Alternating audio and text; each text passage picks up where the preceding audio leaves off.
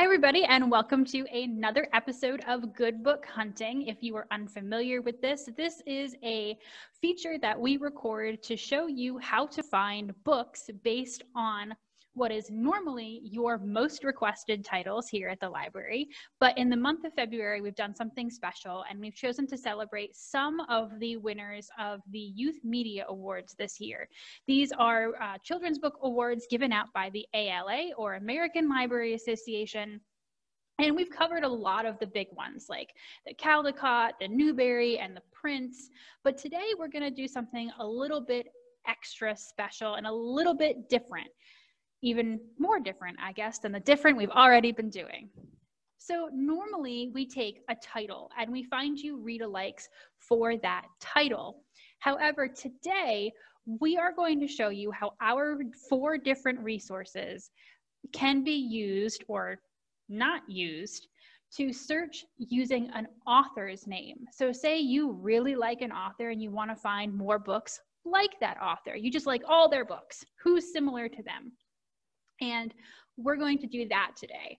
And we are going to pick uh, this time the winner of the Children's Literature Legacy Award. This award honors an author or illustrator whose books published in the United States have made over a period of years of substantial and lasting contribution to literature for children through books that demonstrate integrity and respect for all children's lives and experiences. And that is verbatim from the ALA website. The 2021 winner was also a Coretta Scott King honor winner this year, but the winner for the Legacy Award is Mildred D. Taylor.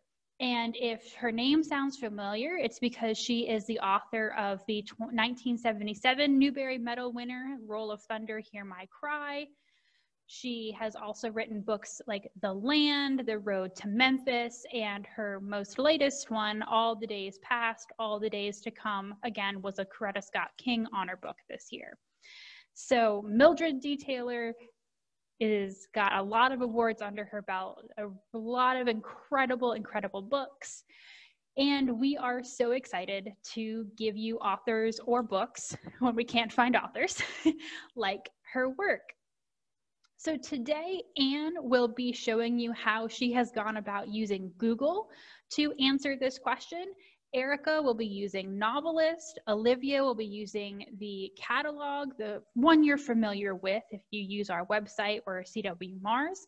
And I will be using the CW Mars Overdrive catalog, which is the online ebook and e-audiobook catalog. So without further ado, I'm going to pass this over to Anne. All right.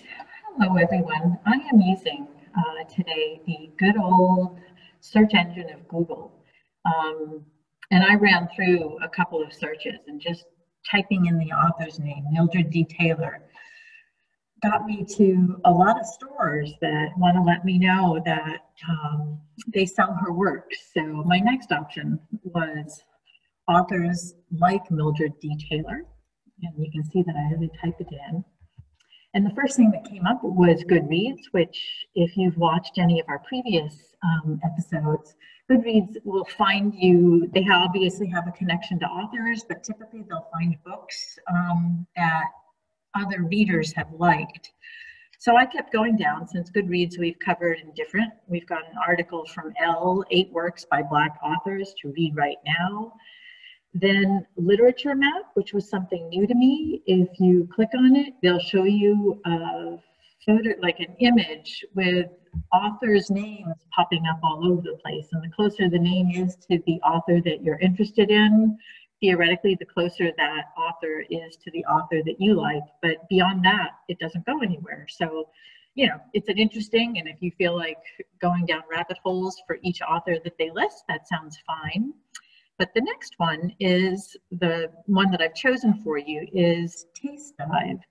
And TasteDive is what they call uh, um, an organization that, or a website that collects um, reviews and then they have an algorithm that they use. Don't know exactly what their algorithm is. We haven't checked it very much, but it will come up with reviews for music, movies, TV shows, books, authors, games, and podcasts.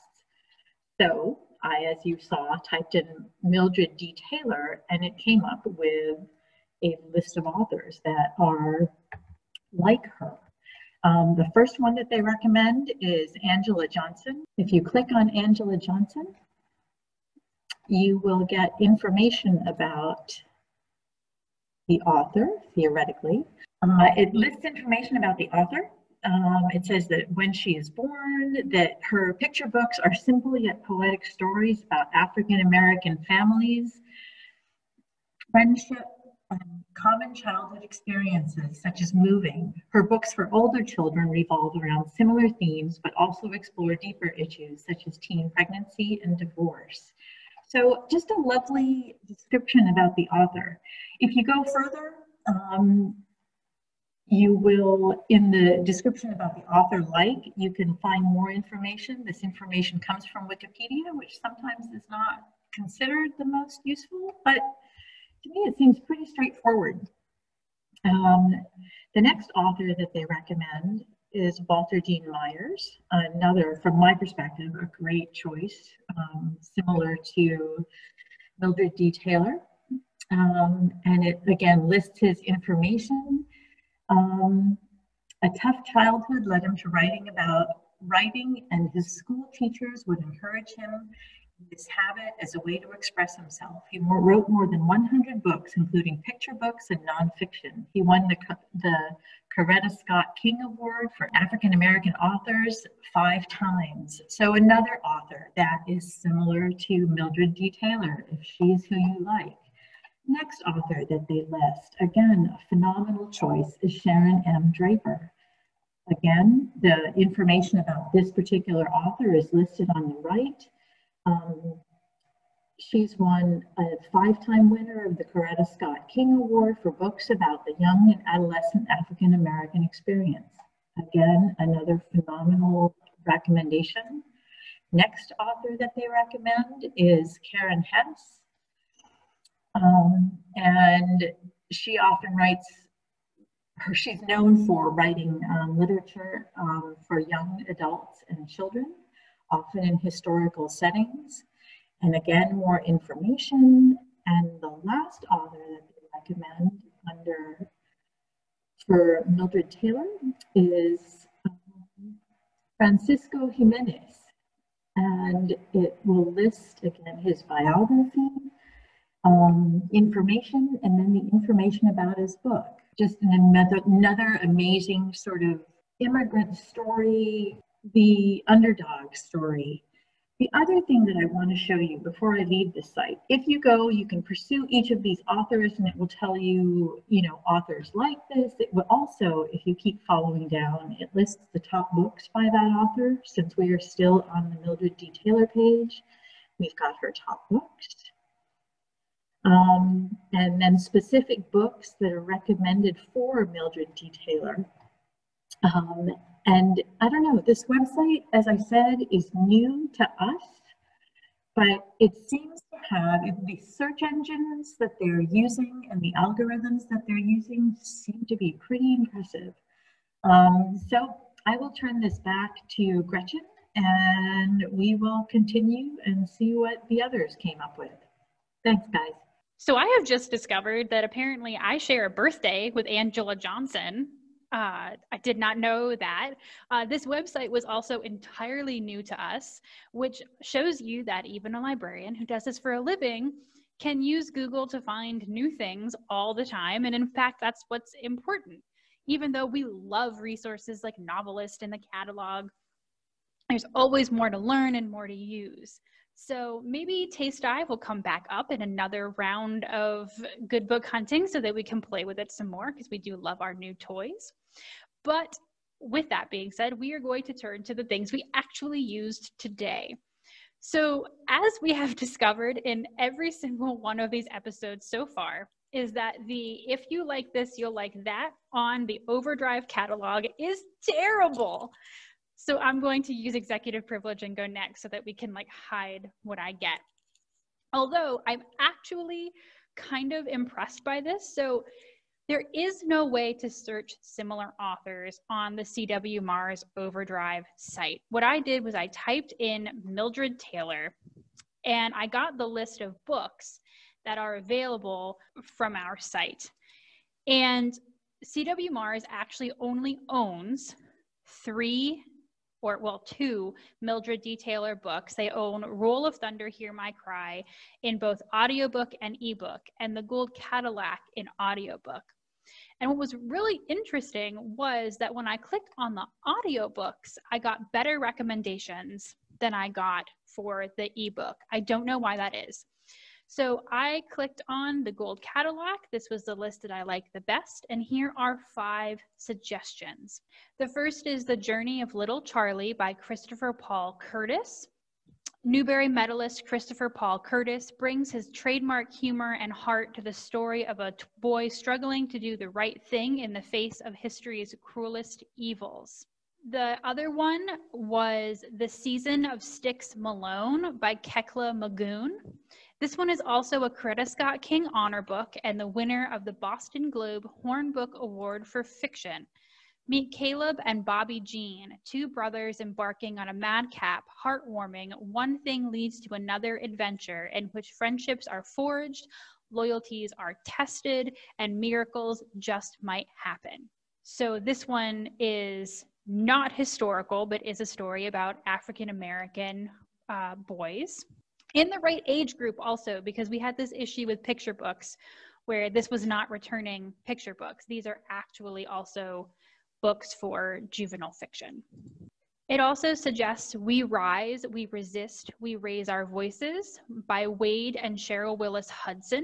This is one of the books if you when you see the cover you'll it's familiar um, the foremost diverse children's authors, including Jason Reynolds, Jacqueline Woodson, and Kwame Alexander, share answers to the question In this divisive world, what shall we tell our children? in this powerful collection published in partnership with Just Us Books. And then there's a huge list of people who are involved in this. It looks incredible. They're all, some of them are huge names, and some of them are people that I've never heard of before but um, they look incredible. It also recommends Blended by Sharon M. Draper. 11 year old Isabella's blended family is more divided than ever in this thoughtful story about divorce and racial identity from the award winning and New York Times bestselling author of Out of My Mind by Sharon M. Draper.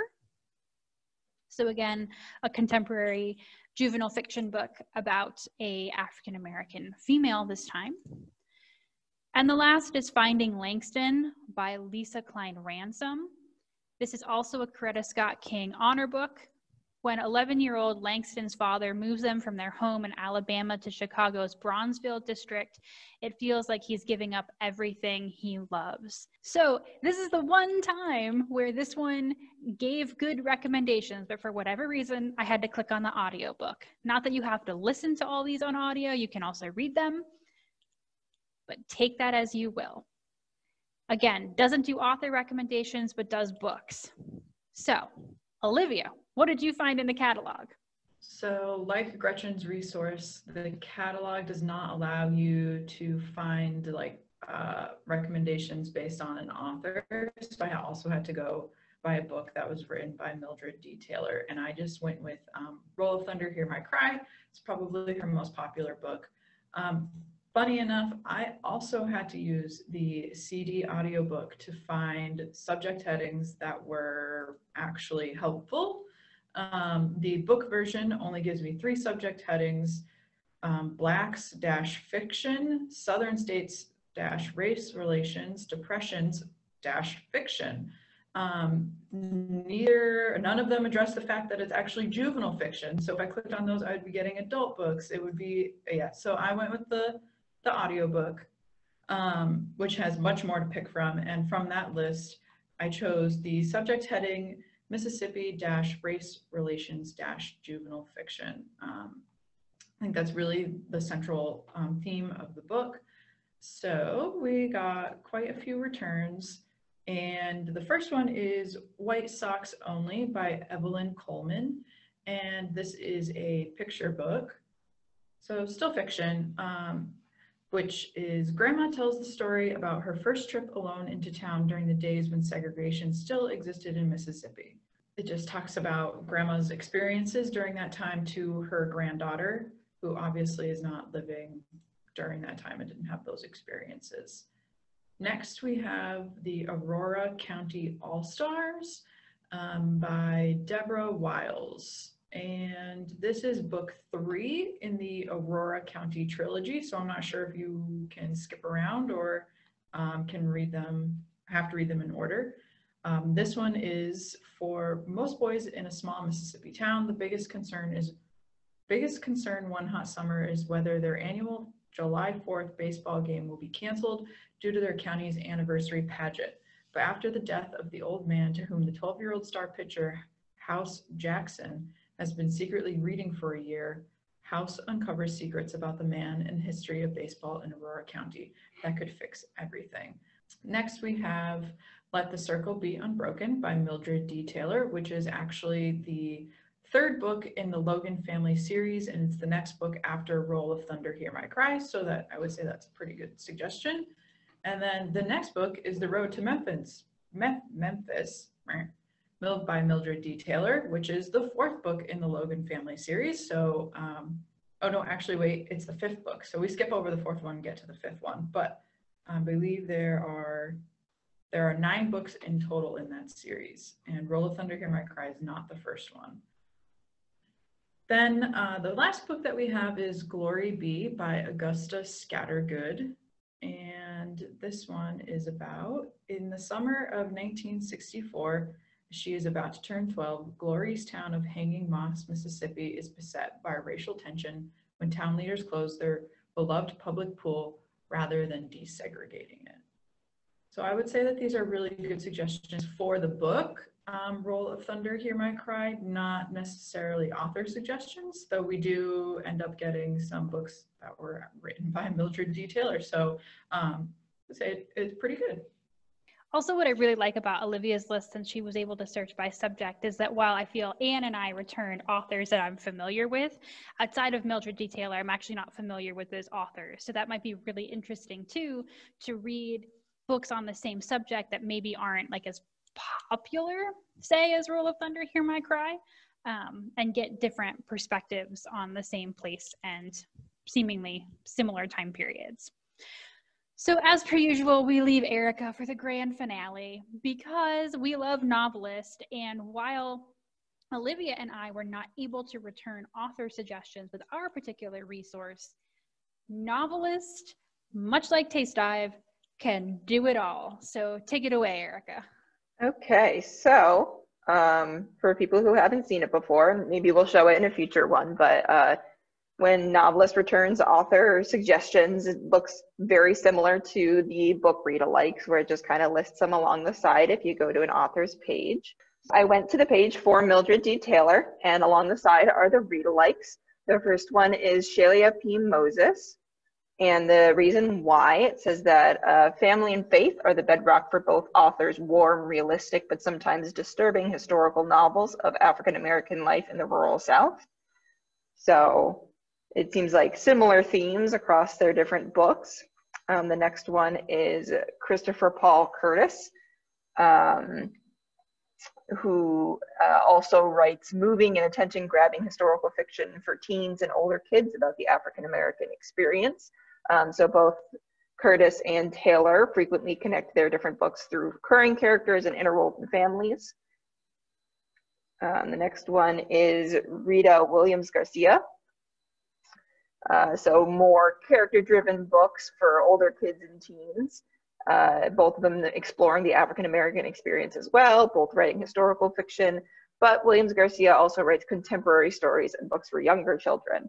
So she might focus more on the issues today than necessarily just the stuff in the Depression era rural South. Um, next one is Kristi Collier. Uh, both authors' works are issue oriented, so I'm guessing also African American racial issues. They have the subjects racism, prejudice, and African American children. So we're at the point in the list where it just kind of tells you the similar uh, keywords that are with both authors. Um, and the last one is Joyce Hansen. Uh, they also both have the genre of African American fiction. and the subjects of African American families, African American children, and African Americans. So I'm also guessing that that is also the um, that Joyce Hansen also writes about the Black experience in America through a family filter lens. So those are the authors I've got. So, one of the reasons we were super excited to do this is to kind of show you how some of these resources can or can't do different things depending on what you're looking for. And hopefully, you've seen that sometimes you have to click weird things. for instance, the audiobook instead of the book. You don't have to be limited to just your search of a book's title uh, or, you know, do you click a few links down on Google because the first things that come up might not actually be the best despite the fact that that's how that's supposed to work. they don't always work as intended, which is what we hope to find. Also, February is Black History Month. So maybe take one of these books or authors and maybe add that to your reading list. And if you do, don't forget to sign up on Beanstack for our monthly reading challenge. The challenge for the month of February is to read a book by an African American author. I believe all of which is, except for Francisco Jimenez, who is Latino. All of the authors on our list that I know of are all African American. So, just another thing that you can do in order to have fun with your reading. So, we hope that you have enjoyed this special month of special episodes, and we will see you with new resources next month. So, just keep reading, and we'll see you next time. Bye.